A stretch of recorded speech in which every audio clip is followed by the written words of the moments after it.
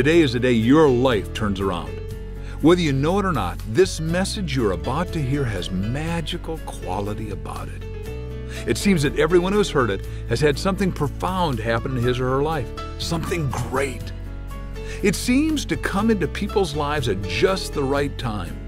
However, you came across this message, it has found you. I'm certainly grateful it found me.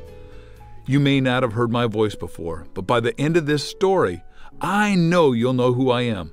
You see, human potential can happen at any time. I can just give you my experience and hope it's something that you can hook on to. Many years ago, I was in a desperate situation. All of a sudden, everything I believed in, I thought was false. Each and every one of us goes through that kind of stuff. I was in what I thought was a successful business one day, and the next day, because of the economy, as far as I was concerned, I was wiped out. I fell out of the sky and went bankrupt. And immediately I felt so bad about myself that I wanted to dust myself because I thought my self worth and my net worth were the same, which now I can tell you unequivocally are not.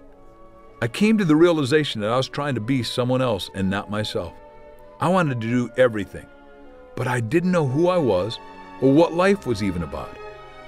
I'd lost my true sense of purpose. I was too young, too inexperienced, too unseasoned. I felt upside down.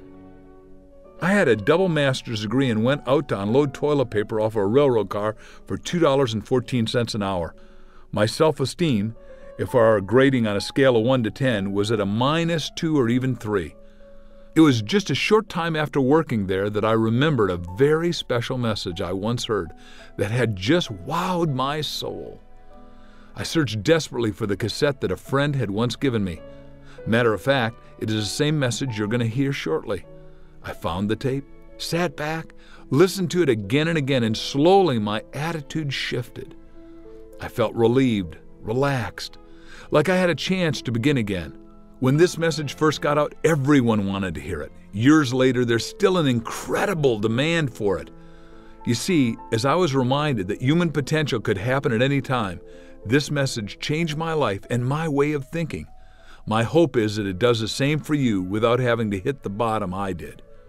I'm Mark Victor Hansen, and you may know me as a co author of the popular, world renowned Chicken Soup for the Soul and One Minute Millionaire series. In some ways, that story seems like far away time, and in some ways, it seems like it just happened yesterday. As I was at my desk today, I contemplated the new, exciting, and sometimes scary lifestyle revolution of which we are a part. Daily, I'm told by people how their life is ever changing and how unpredictable it is for them. Indeed, we find ourselves living much differently than the past generations. We live longer.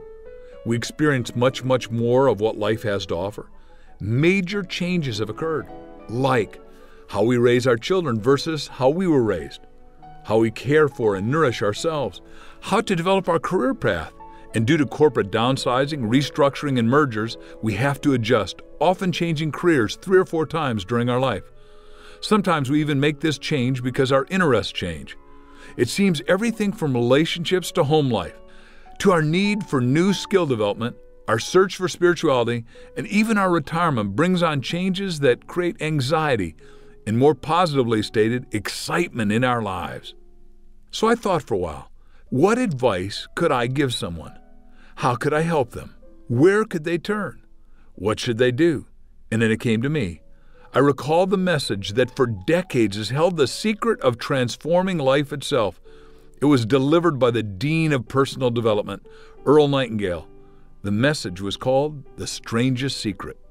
Now, Earl was no ordinary man. Rather, he was a man of creative genius, a world renowned author and speaker, a man with enormous scope and knowledge. He was literally a man who inspired everyone who came in contact with him. On December 7, 1941, Earl was at Pearl Harbor, in a lookout tower on a battleship Arizona. A thousand men died in the Arizona. Earl was one of only a hundred who survived. After the war, Earl worked in the radio industry in both Phoenix and Chicago. He also owned his own insurance business. In 1956, he recorded a message for his insurance sales force. That message, The Strangest Secret, is what it has become one of the most famous recordings ever made. The Strangest Secret has sold millions of copies and is the only gold record ever achieved within a spoken word industry. Its message is simple yet profound and powerful. The Strangest Secret inspired so many people throughout the world that it is actually credited for launching the spoken word industry. For the next few moments, I invite you to sit back and relax. However, be prepared to have something deep inside of you get exposed, stirred, enriched, this could be the discovery that enables you to do literally everything and anything you wish to do smoothly and creatively for the rest of your life. Over the years, this discovery has been shared with anyone who would listen, and tremendous transformations have taken place for those who have followed the simple steps contained within this 30 minute message. Men and women who worked in companies rose to positions of senior management, becoming presidents and CEOs. People in politics have won elections. Salespeople have earned record breaking commissions. Self employed professionals and consultants attracted new clients and increased their incomes. Business owners saw their businesses and profits rise. People who were stuck in a wrong job have found their true calling. Those who dreamt of being their own boss discovered the springboard that led to their success. But the position, money, and visible signs of success were only a small part of what these people really gained. Now you will make alike discoveries as Earl Nightingale uncovers the strangest secret in the world for you too. His message is as valuable and pertinent today as it has ever been. For all of you who follow it, be prepared to leap to the top, and we'll see you there. Now, here is my friend, Earl Nightingale. I'd like to tell you about the strangest secret in the world. Some years ago, the late Nobel Prize winning Dr. Albert Schweitzer was being interviewed in London, and a reporter asked him, Doctor, what's wrong with men today? And the great doctor was silent a moment, and then he said, Men simply don't think. It's about this that I want to talk with you. We live today in a golden age. This is an era that man has looked forward to, dreamed of, and worked toward for thousands of years. But since it's here, we pretty well take it for granted. We in America are particularly fortunate to live in the richest land that ever existed on the face of the earth, a land of abundant opportunity for everyone. But do you know what happens? Well, let's take a hundred men who start even at the age of 25. Do you have any idea what will happen to those men by the time they're 65? These 100 men who all start even at the age of 25 believe they're going to be successful. If you asked any one of these men if he wanted to be a success, he'd tell you he did. And you'd notice that he was eager toward life, that there was a certain sparkle to his eye, an erectness to his carriage, and life seemed like a pretty interesting adventure to him. But by the time they're 65, one will be rich. Four will be financially independent. Five will still be working. 54 will be broke. Now think a moment. Out of the 100, only five make the grade. Now why do so many fail? What has happened to the sparkle that was there when they were 25? What's become of the dreams, the hopes, the plans? And why is there such a large disparity between what these men intended to do and what they actually accomplished? When we say about 5% achieve success, we have to define success. And here's the best definition I've ever been able to find. Success is the progressive realization of a worthy ideal. If a man is working toward a predetermined goal and knows where he's going, that man is a success. If he's not doing that, he's a failure. Success is the progressive realization of a worthy ideal. Rollo May, the distinguished psychiatrist, wrote a wonderful book called Man's Search for Himself. And in this book, he says, the opposite of courage in our society is not cowardice. It is conformity. And there you have the trouble today. It's conformity, people acting like everyone else without knowing why, without knowing where they're going. Now think of it.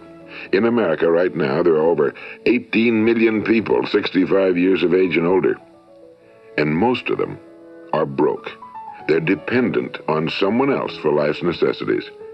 Now, we learn to read by the time we're seven. We learn to make a living by the time we're 25. Usually, by that time, we're not only making a living, we're supporting a family. And yet, by the time we're 65, we haven't learned how to become financially independent in the richest land that has ever been known. Why? We conform. And the trouble is that we're acting like the wrong percentage group, the 95 who don't succeed. Now, why do these people conform? Well, they really don't know. These people believe that their lives are shaped by circumstances, by things that happen to them, by exterior forces. They're outer directed people.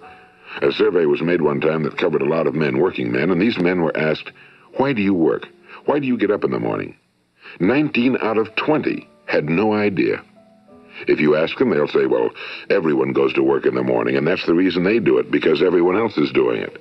Now let's get back to our definition of success. Who succeeds? The only person who succeeds is the person who is progressively realizing a worthy ideal. He's the person who says, I'm going to become this, and then begins to work toward that goal.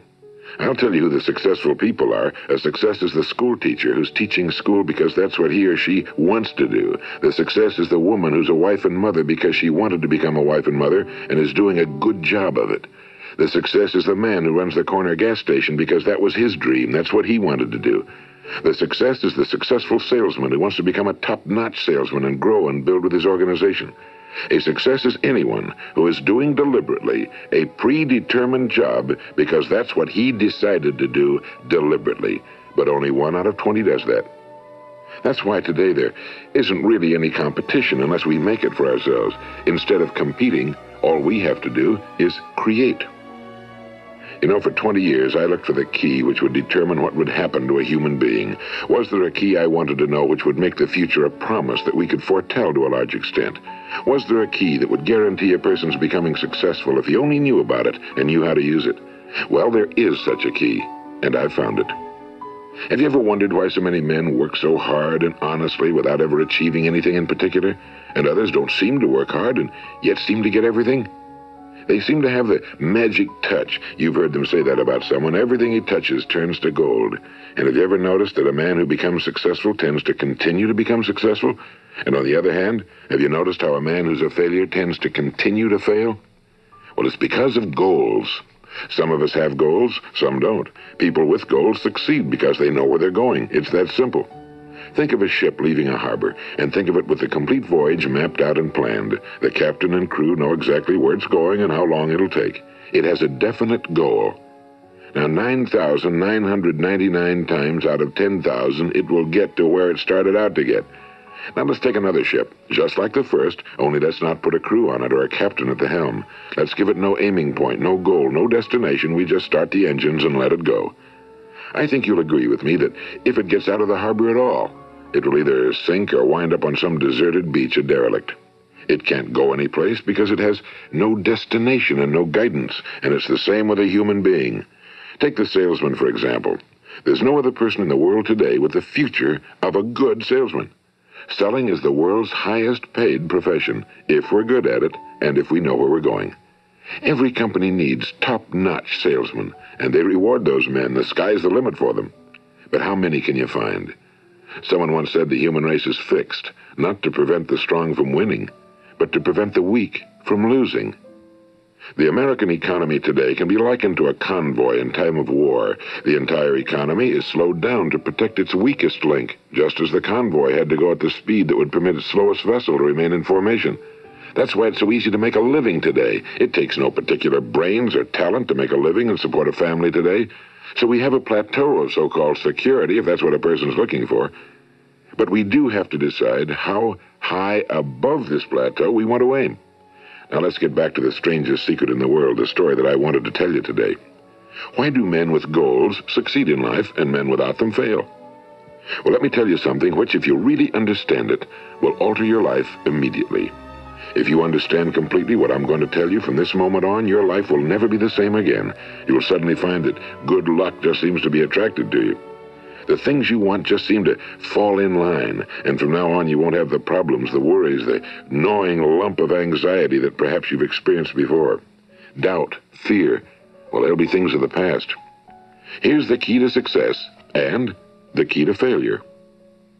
We become what we think about. Now, let me say that again. We become what we think about. Throughout all history, the great wise men and teachers, philosophers and prophets have disagreed with one another on many different things. It's only on this one point that they are in complete and unanimous agreement. Listen to what Marcus Aurelius, the great Roman emperor, said. A man's life is what his thoughts make of it. Disraeli said this Everything comes if a man will only wait. I've brought myself by long meditation to the conviction that a human being with a settled purpose must accomplish it, and that nothing can resist a will that will stake even existence for its fulfillment. Ralph Waldo Emerson said this A man is what he thinks about all day long. William James said, The greatest discovery of my generation is that human beings can alter their lives by altering their attitudes of mind.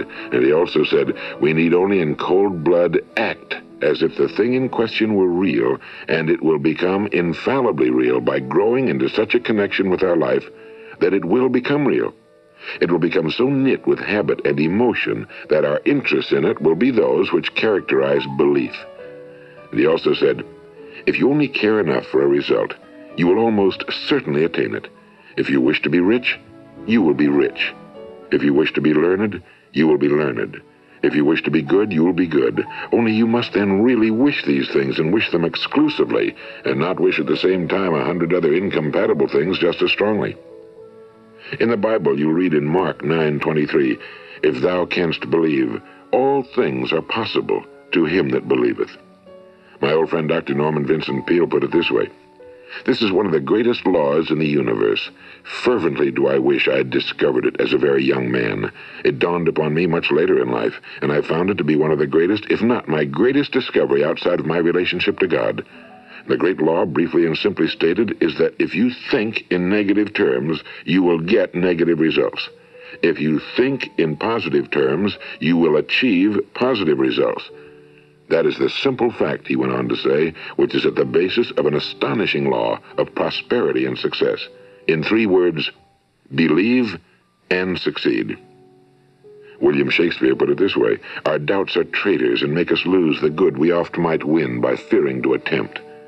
George Bernard Shaw said, People are always blaming their circumstances for what they are. I don't believe in circumstances. The people who get on in this world are the people who get up and look for the circumstances they want, and if they can't find them, make them.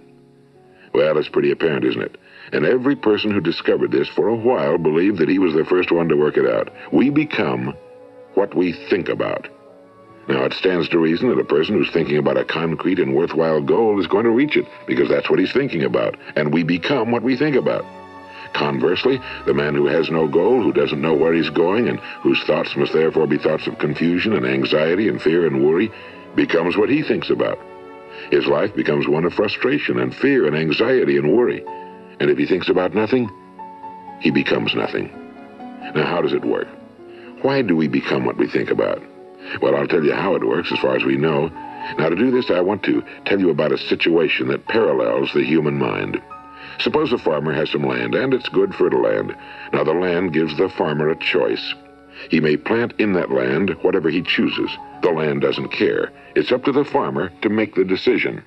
Now remember, we're comparing the human mind with the land because the mind, like the land, doesn't care what you plant in it. It will return what you plant, but it doesn't care what you plant. Now let's say that the farmer has two seeds in his hand. One is a seed of corn, the other is nightshade, a deadly poison. He digs two little holes in the earth and he plants both seeds, one corn, the other nightshade. He covers up the holes, waters, and takes care of the land, and what will happen? Invariably, the land will return what's planted. As it's written in the Bible, as ye sow, so shall ye reap. Now remember, the land doesn't care. It'll return poison in just as wonderful abundance as it will corn. So up come the two plants, one corn, one poison. Now, the human mind is far more fertile, far more incredible and mysterious than the land, but it works the same way. It doesn't care what we plant success, failure, a concrete, worthwhile goal, or confusion, misunderstanding, fear, anxiety, and so on. But what we plant, it must return to us.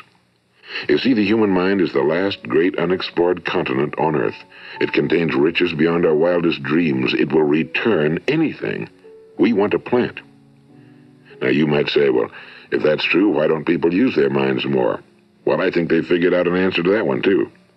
Our mind comes as standard equipment at birth. It's free, and things that are given to us for nothing we place little value on. Things that we pay money for, we value. The paradox is that exactly the reverse is true. Everything that's really worthwhile in life came to us free. Our minds, our souls, our bodies, our hopes, our dreams, our ambitions, our intelligence, our love of family and children and friends and country, all these priceless possessions are free. But the things that cost us money are actually very cheap and can be replaced at any time. A good man can be completely wiped out and make another fortune. He can do that several times. Even if our home burns down, we can rebuild it. But the things we got for nothing, we can never replace. The human mind isn't used because we take it for granted. Familiarity breeds contempt. It can do any kind of job we assign to it, but generally speaking, we use it for little jobs instead of big important ones.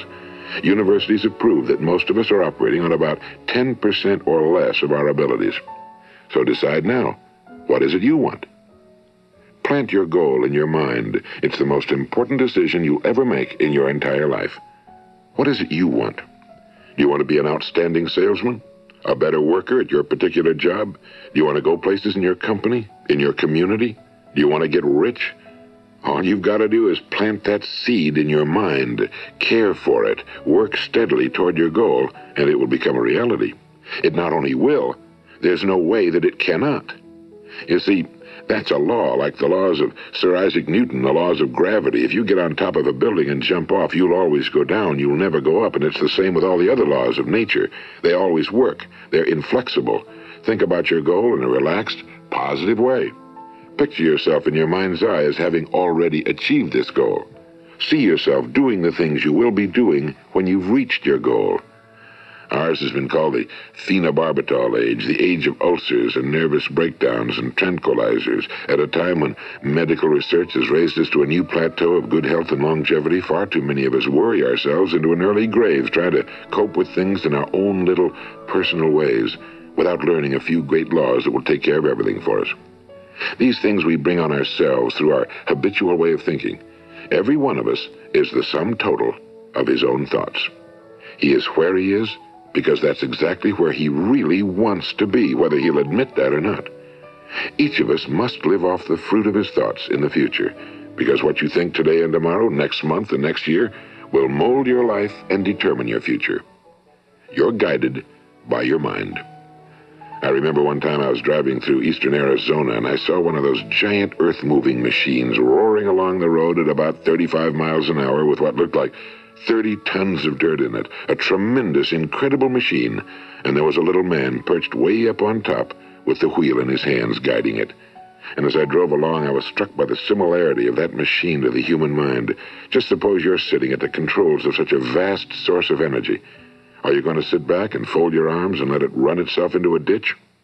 Or are you going to keep both hands firmly on the wheel and control and direct this power to a specific, worthwhile purpose? It's up to you. You're in the driver's seat. You see, the very law that gives us success is a two-edged sword. We must control our thinking. The same rule that can lead a man to a life of success, wealth, happiness, and all the things he ever dreamed of for himself and his family. That very same law can lead him into the gutter. It's all in how he uses it, for good or for bad. This is the strangest secret in the world.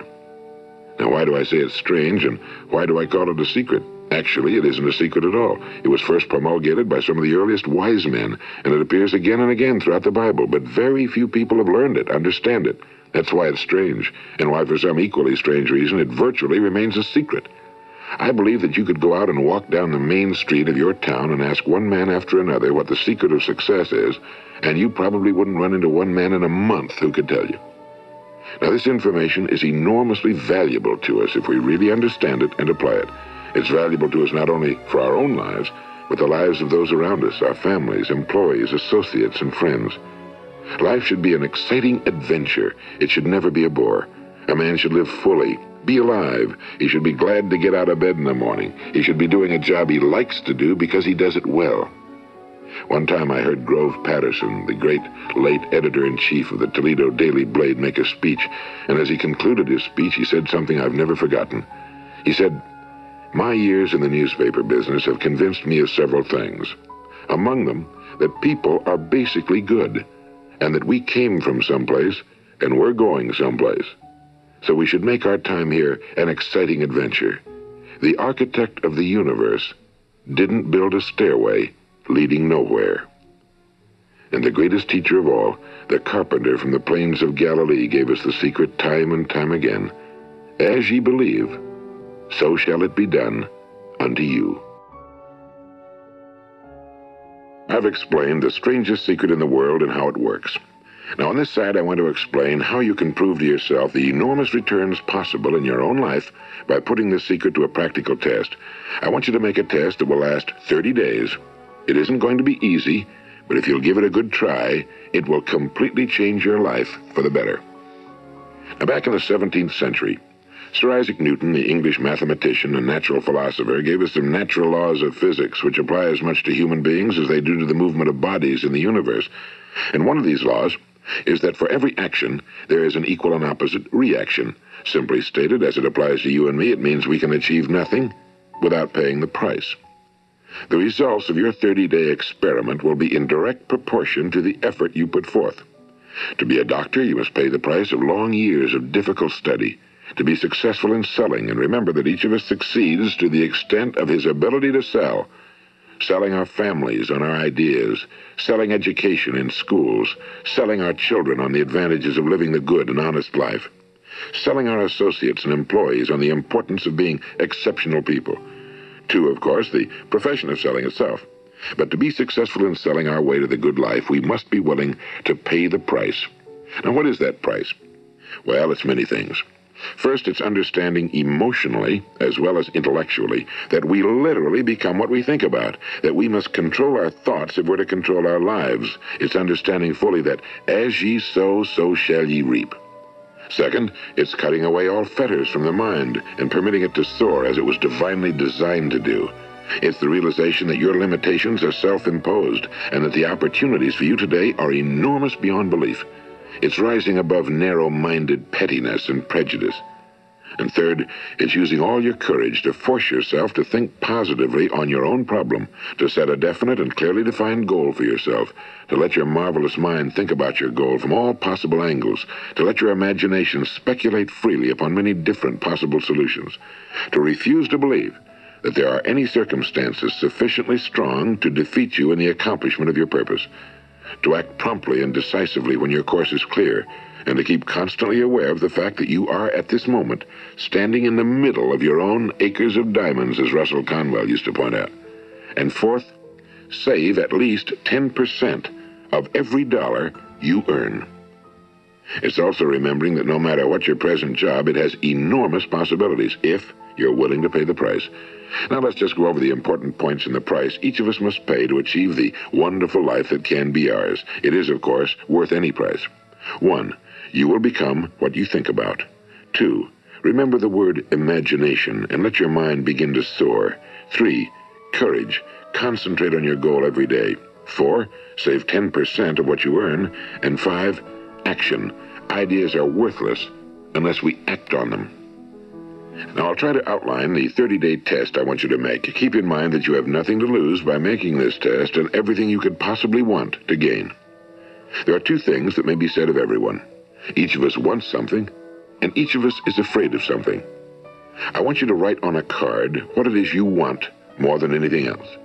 It may be more money. Perhaps you'd like to double your income or make a specific amount of money. It may be a beautiful home. It may be success at your job. It may be a particular position in life. It could be a more harmonious family. Each of us wants something.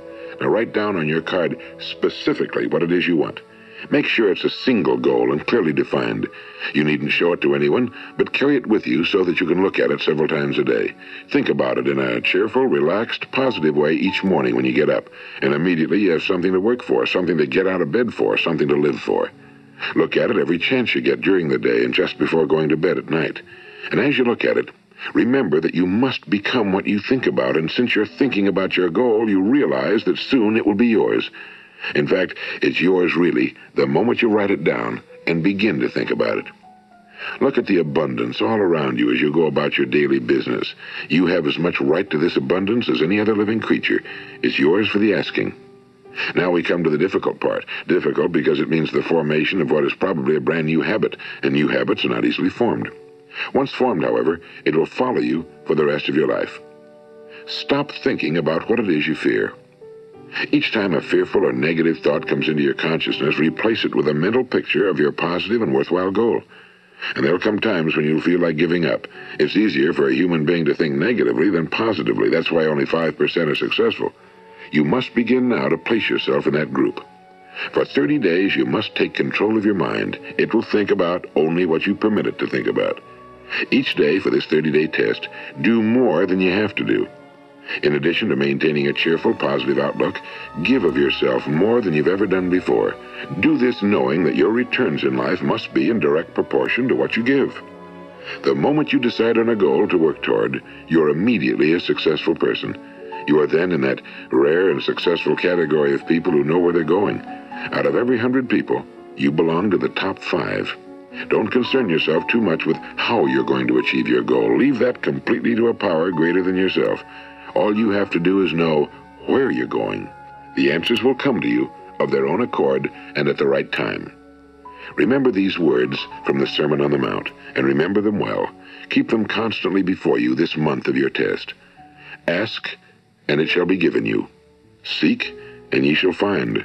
Knock, and it shall be opened unto you. For every one that asketh receiveth, and he that seeketh findeth, and to him that knocketh it shall be opened. It's as marvelous and as simple as that. In fact, it's so simple that in our seemingly complicated world, it's difficult for an adult to understand that all he needs is a purpose and faith. For 30 days, do your very best. If you're a salesman, go at it as you've never done before, not in a hectic fashion, but with the calm, cheerful assurance that time well spent will give you the abundance in return you deserve and want. If you're a homemaker, devote your 30-day test to completely giving of yourself without thinking about receiving anything in return, and you'll be amazed at the difference it makes in your life. No matter what your job, do it as you've never done it before for 30 days.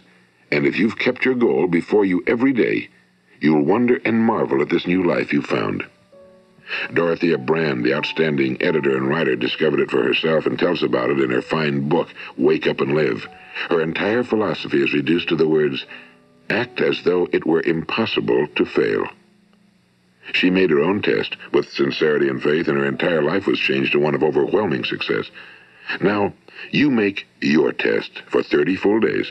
Don't start your test until you've made up your mind to stick with it. You see, by being persistent, you're demonstrating faith. Persistence is simply another word for faith. If you didn't have faith, you'd never persist. If you should fail during your first 30 days, by that I mean suddenly find yourself overwhelmed by negative thoughts, you've got to start over again from that point and go 30 more days. Gradually, your new habit will form until you find yourself one of that wonderful minority to whom virtually nothing is impossible. And don't forget the card. It's vitally important as you begin this new way of living. On one side of the card, write your goal, whatever it may be. On the other side, write the words we've quoted from the Sermon on the Mount. Ask, and it shall be given you. Seek, and ye shall find. Knock, and it shall be opened unto you. Nothing great was ever accomplished without inspiration. See that during these crucial first 30 days, your own inspiration is kept at a peak. And above all, don't worry. Worry brings fear, and fear is crippling. The only thing that can cause you to worry during your test is trying to do it all yourself. Know that all you have to do is hold your goal before you. Everything else will take care of itself.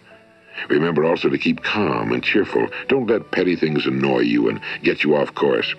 Now, since making this test is difficult, some will say, why should I bother? Well, look at the alternative. No one wants to be a failure. No one really wants to be a mediocre individual. No one wants a life constantly filled with worry and fear and frustration. Therefore, remember that you must reap that which you sow. If you sow negative thoughts, your life will be filled with negative things. If you sow positive thoughts, your life will be cheerful, successful, and positive. Now, gradually, you will have a tendency to forget what you've heard on this recording. Play it often. Keep reminding yourself of what you must do to form this new habit. Gather your whole family around at regular intervals and listen to what's been said here. You know, most men will tell you that they want to make money without understanding the law. The only people who make money work in a mint. The rest of us must earn money. This is what causes those who keep looking for something for nothing or a free ride to fail in life. The only way to earn money is by providing people with services or products which are needed and useful. We exchange our time and our product or service for the other man's money. Therefore, the law is that our financial return will be in direct proportion to our service. Now, success is not the result of making money. Making money is the result of success, and success is in direct proportion to our service. Most people have this law backwards. They believe that you're successful if you earn a lot of money. The truth is that you can only earn money after you're successful. It's like the story of the man who sat in front of the stove and said to it, Give me heat, and then I'll add the wood. How many men and women do you know, or do you suppose there are today, who take the same attitude toward life? There are millions. We've got to put the fuel in before we can expect heat. Likewise, we've got to be of service first before we can expect money. Don't concern yourself with the money. Be of service, build, work, dream, create. Do this, and you'll find there's no limit to the prosperity and abundance that will come to you. Prosperity, you know, is founded upon a law of mutual exchange. Any person who contributes to prosperity must prosper in turn himself. Sometimes the return will not come from those you serve, but it must come to you from someplace, because that's the law. For every action, there is an equal and opposite reaction. As you go daily through your 30-day test period, remember that your success will always be measured by the quality and quantity of service you render, and money is a yardstick for measuring this service. No man can get rich himself unless he enriches others. Now, there are no exceptions to a law. You can drive down any street in America and from your car estimate the service that's being rendered by the people living on that street. Had you ever thought of this yardstick before? It's interesting. Some, like ministers and priests and other devoted people, measure their returns in the realm of the spiritual, but again, their returns are equal to their service. Once this law is fully understood, any thinking person can tell his own fortune. If he wants more, he must be of more service to those from whom he receives his return. If he wants less, he has only to reduce his service. This is the price you must pay for what you want. If you believe you can enrich yourself by deluding others, you can end only by deluding yourself. It may take some time, but just as surely as you breathe, you'll get back what you put out. Don't ever make the mistake of thinking you can avert this. It's impossible. The prisons and the streets where the lonely walk are filled with people who tried to make new laws just for themselves. We may avoid the laws of man for a while, but there are greater laws that cannot be broken. An outstanding medical doctor recently pointed out six steps that will help you realize success. One, set yourself a definite goal. Two, quit running yourself down. Three, stop thinking of all the reasons why you cannot be successful and instead think of all the reasons why you can. Four, trace your attitudes back through your childhood and try to discover where you first got the idea you couldn't be successful, if that's the way you've been thinking. Five, change the image you have of yourself by writing out a description of the person you would like to be. And six, act the part of the successful person you have decided to become. The doctor who wrote those words is a noted West Coast psychiatrist, Dr. David Harold Fink. Do what the experts since the dawn of recorded history have told you you must do. Pay the price by becoming the person you want to become. It's not nearly as difficult as living unsuccessfully. Make your 30-day test, then repeat it, then repeat it again, and each time it will become more a part of you until you'll wonder how you could ever have lived any other way. Live this new way, and the floodgates of abundance will open and pour over you more riches than you may have dreamed existed. Money? Yes, lots of it. But what's more important, you'll have peace. You'll be in that wonderful minority who lead calm, cheerful, successful lives. Start today. You have nothing to lose, but you have a whole life to win. This is Earl Nightingale, and thank you.